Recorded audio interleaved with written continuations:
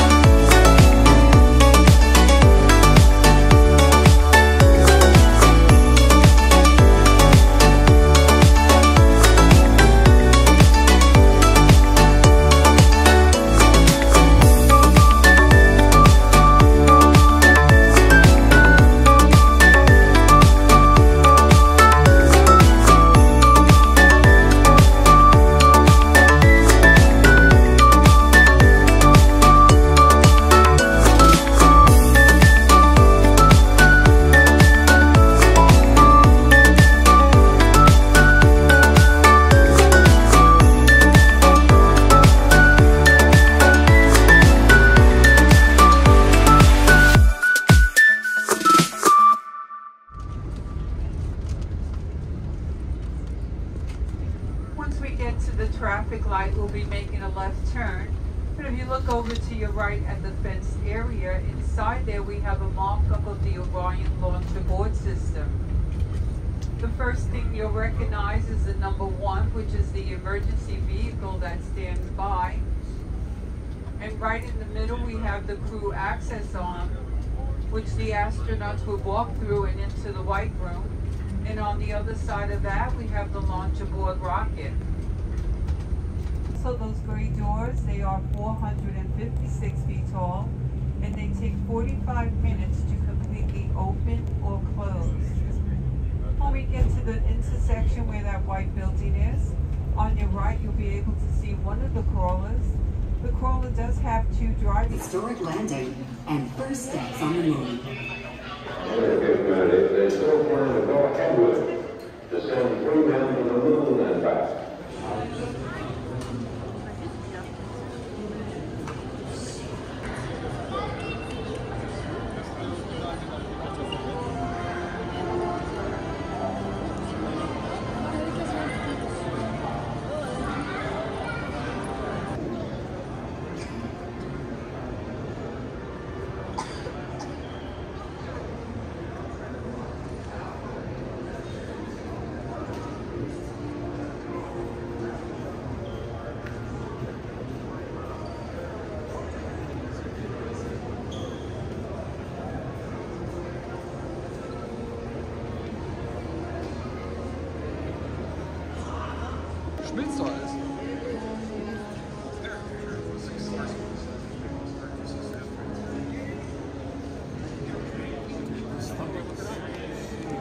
I know this.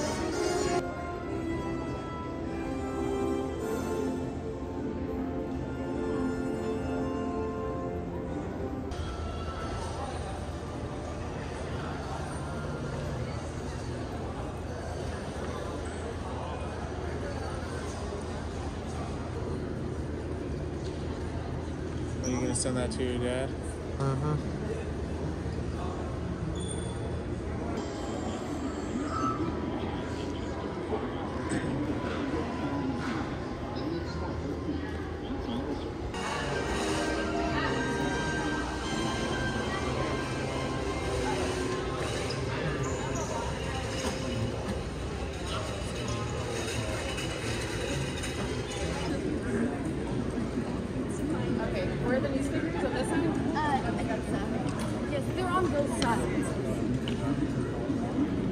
Today, we each took our own small step toward the future of space exploration by learning and being inspired by the incredible achievements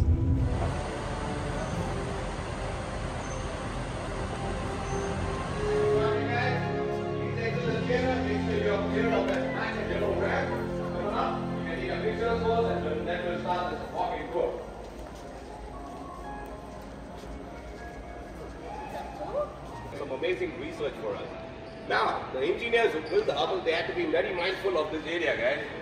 Because if we had built the Hubble any bigger than that area, we couldn't be able to deploy. There's a lot of heat generated in the in the in the orbiter when the astronauts are flying. So once we reach Earth orbit, these payload doors is to open. So all the heat that's generated during flight is all dissipated, gone. We have to cool the orbiter off.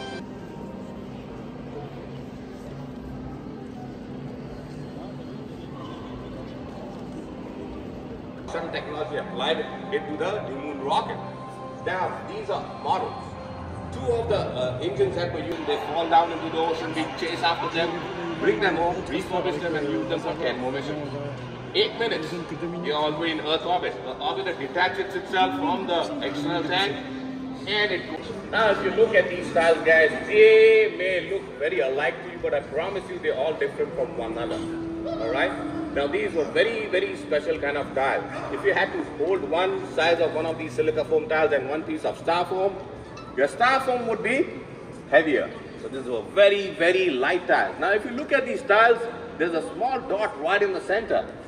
Now, if you know, folks, in Florida it rains occasionally. There's moisture. There's a lot of, uh, you know, and these tiles are affected by rain, water, and moisture. So our engineers had to take a big waterproof each and every one of those 24,000 tiles. And waterproofing the orbiter was very, very essential because we couldn't fly with a heavy orbiter. Now, at the end of each mission, there's tile damage. Tile damage happens. On an average, we had to replace 125 tiles. So if you look at the back of these tiles, there was a very special number. There was a very simple system in place. We had to go and see